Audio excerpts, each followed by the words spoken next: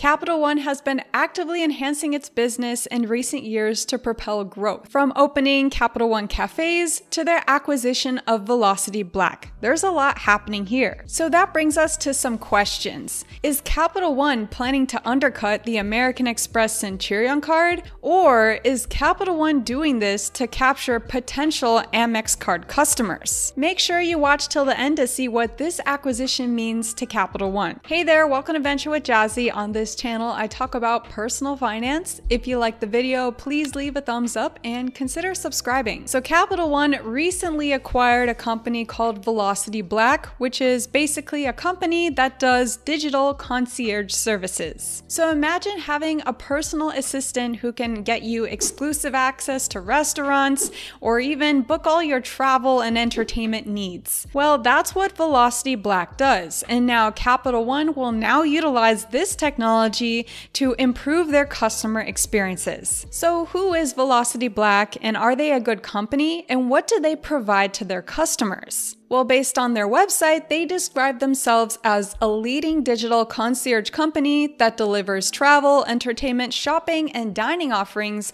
to consumers globally. They provide discounted private first and business class air travel. They give access to sold out events, access to fully booked restaurants, and guaranteed upgrades at luxury resorts. And also on their app, I found that you can specifically save 30% on business and first class flights, guaranteed upgrades, and in the app, you can contact their team of experts and receive a guaranteed reply within a minute, 24 7, 365 days a year. And as for memberships, I was also wondering what that would look like. So, according to PYMNTS.com, in 2019, the membership cost 2800 a year, and the ability to pay won't alone gain a person access to the app. So, members do need to be approved and also get invited. So, with this information, what does it actually mean for Capital One? Well, it's no question that everyone's trying to hop on to the AI train as Velocity Black's platform uses artificial intelligence. But as for Capital One, I do believe that this could be of benefit for three types of user groups. So, for one, you have the regular users. So, Capital One, they can leverage the AI technology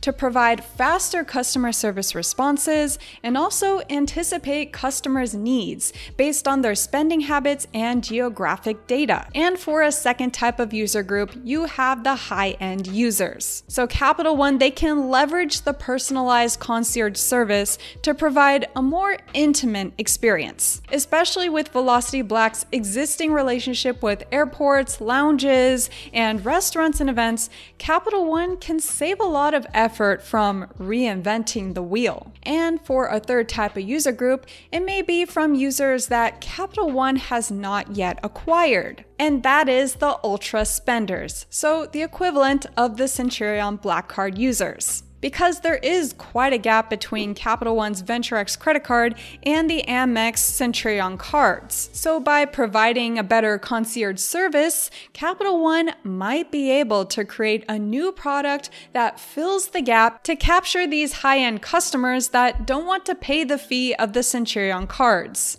But at the same time, these types of customers would probably expect better benefits compared to those of regular premium travel cards. So these could be the types of users that Capital One is trying to target right now. And even if they're not there yet, it does take baby steps to get there. Now, I honestly have no idea how Velocity Black is as a service, so I did want to do some research on what customers are saying about them. Now, there is some scarce information out there, but I did find this Reddit post online. So this Reddit post, it was from two years ago, and as you can see, there are quite a few negative comments, but you know, things can change within two years. But then there was someone who did comment that Velocity Black services can be useful 40% of the time, where there were a few occasions where they have managed to get them tables at sold out restaurants. And then again, looking at the App Store, they do have a 4.9 out of 5 star rating with over 240 reviews. And then you do have plenty of positive reviews on here with people saying that Velocity Black has amazing service,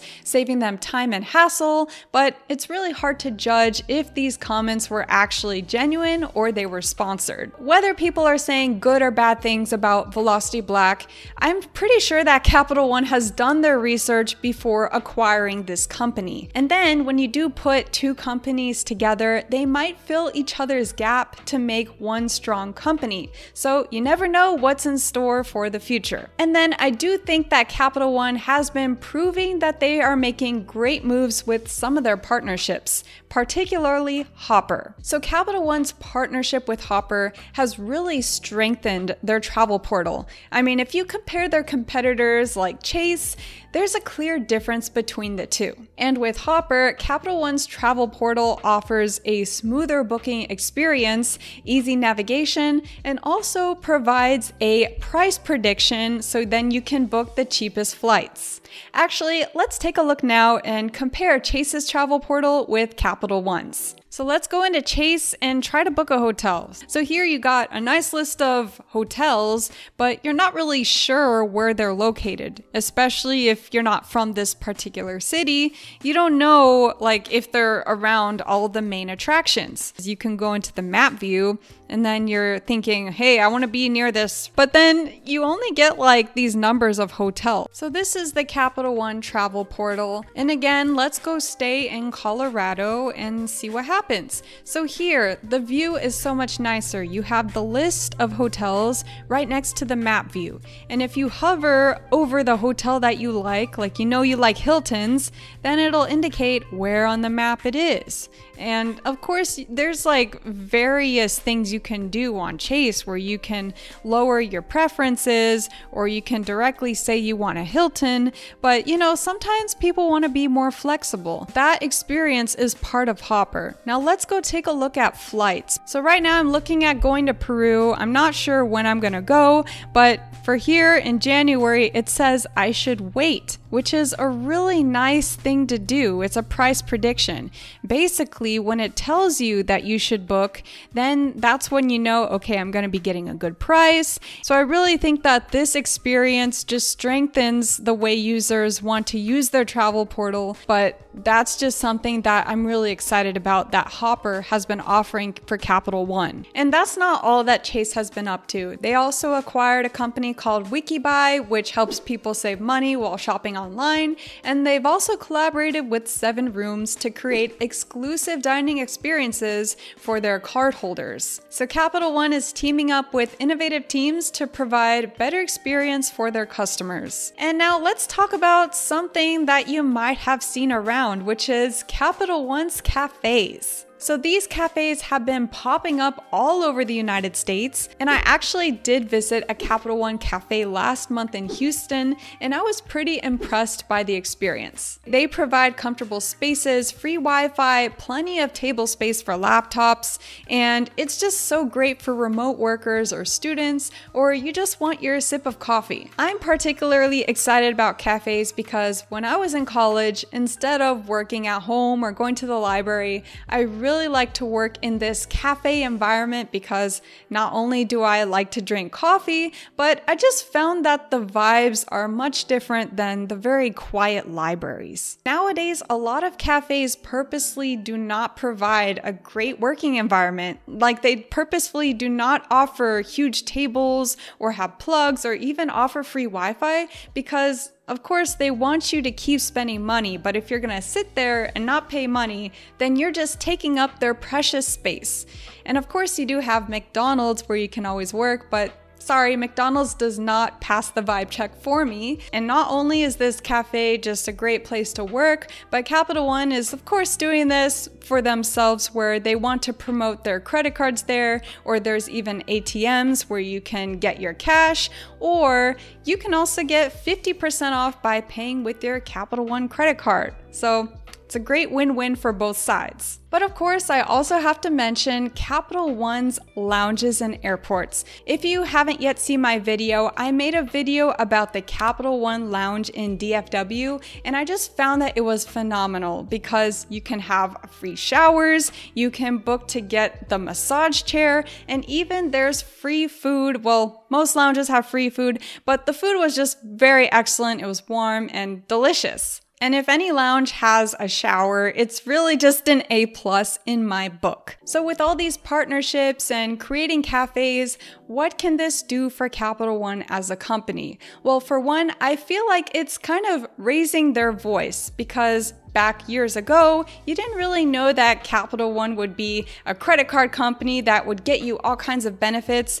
No, they were kind of quiet. Whereas Amex, a lot of people know that if you own one of their credit cards, particularly the Platinum card, you can get access to lounges and airports. And then a lot of people do know of the hefty annual fee that this Platinum credit card does have $695. So it is a little bit intimidating for for newbies to get started here. In fact, it might not be of surprise if Amex were to increase their annual fee on this Platinum card again, as the cost of the annual fee on the Platinum card in 2017 was $450. Four years later, they rose it all the way up to $695.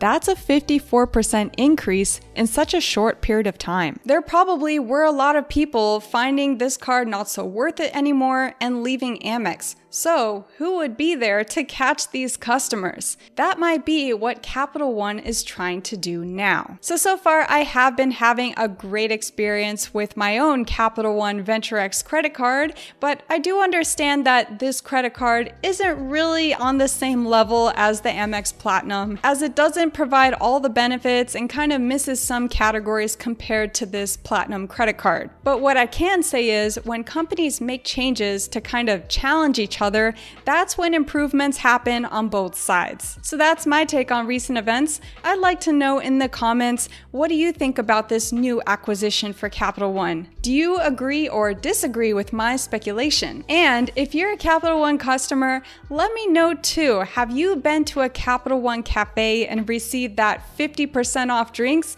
Because that's just an excellent perk. Anyway, thank you all so much for watching. If you're new here, please subscribe because Also a new channel. Anyway, I'll see you in another video. Bye bye.